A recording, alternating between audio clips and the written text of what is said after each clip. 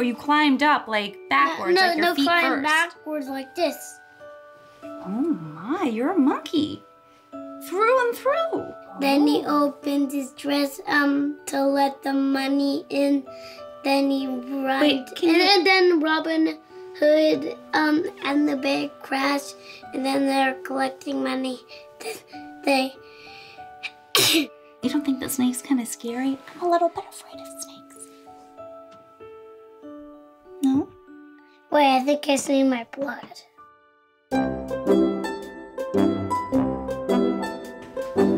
Oh. How was it? Unspeakably adorable. I mean, it was crazy. No, he's insane. No, but like seriously, Gary, this morning when we were running late, he actually said to me, Don't worry, I won't dilly dally. Oh. what? I wanted to punch him in the nose. Oh yeah. Ugh.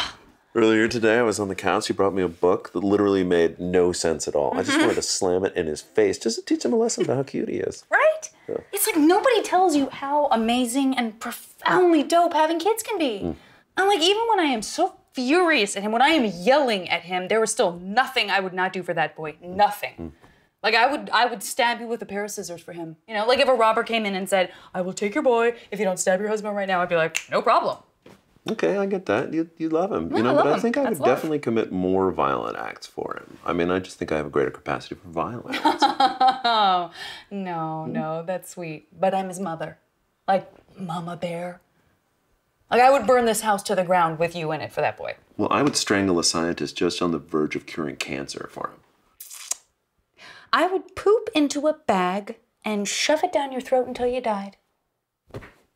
Do you notice all yours are about hurting me or killing me? Hmm? They kind of. I don't think so. No, they all did. Okay, fine. Uh, I would.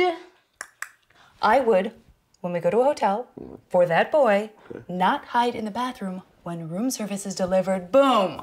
That is impressive. Ah. Okay, but I would stick my hand in a garbage disposal with it not on while watching an entire episode of your hoarding show. Gasp. Mm-hmm. Bing. I win, you lose. I mean, I'm the winner. I would argue that we both win because we're both the parents of one Ziggy Gainesville Silverman. But That's right.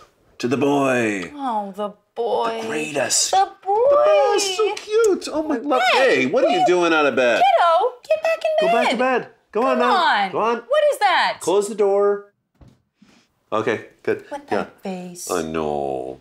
Like, Am I in oh, trouble? Oh, yes, you are. Yeah, huh? No, but you No, not, 'cause look at that. Close the door.